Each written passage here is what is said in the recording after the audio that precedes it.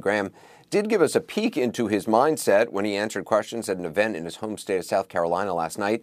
Senator Graham had spent Sunday on the golf course with the president, was asked by an audience member why he and a South Carolina congressman also at the forum don't, quote, step up and stop the Mueller investigation. Here's what Senator Graham had to say. Well, did Trump ask that question? he must have mentioned that about 20 times. So I told the president, I know you don't like it. I know you feel put upon. You just got to write it out.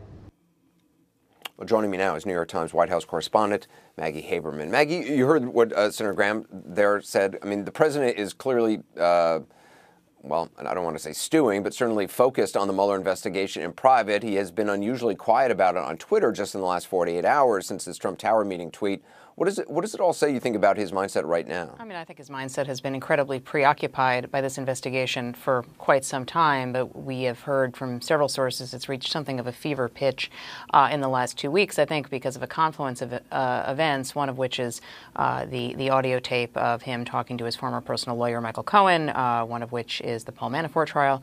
I think there are a number of things um, that are reminding him of the existence of this probe and of questions about Russia, which he, uh, at least on some some level uh, sees as a question of the legitimacy of his presidency.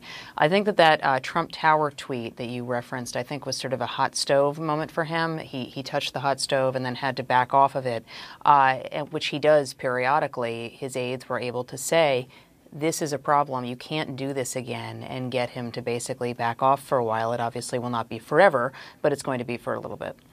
According to CNN's reporting, the president has been urged to stop tweeting. Which, to your point about, about the Trump Tower meeting, uh, that that advised that it only gives oxygen to the topic. Um, does it I mean, does it seem to you he's actually taking the advice from, from those around him on the, on this particular incident? No, I think he's taking the advice for this moment. I don't think that it has any particular longevity. Look, my colleague Michael Schmidt and I reported that among the, the issues that uh, the special counsel's office is looking at is whether the president's tweets have been intended at various points to influence uh, witnesses in uh, the uh, possible witnesses um, in an investigation into him. Uh, could they be construed as obstruction of justice or part of an obstruction of justice case.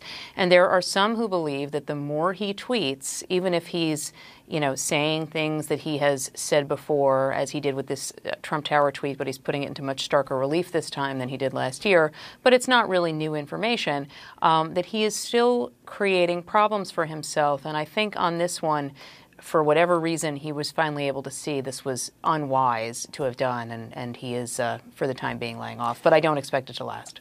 Giuliani yesterday told CNN that the president's legal team is preparing to respond to Mueller in the coming days. I mean, it does seem like Giuliani is continually moving the goalpost on this interview between Mueller and, and the president. Is that a conscious strategy? I mean, I do think that part of their strategy has been to uh, draw this out as long as possible and get it to uh, as close to the window uh, as possible where Mueller is unlikely to issue a, a report after that. Um, you know, there is this uh, guideline within the Department of Justice about when you do things uh, close to an election. I think it's 60 days from an election you are not supposed to. And I think the assumption is that Mueller would follow along with DOJ guidelines. So that gives you a couple of more weeks. Um, we're now looking at eight months that they have been having these negotiations about an interview.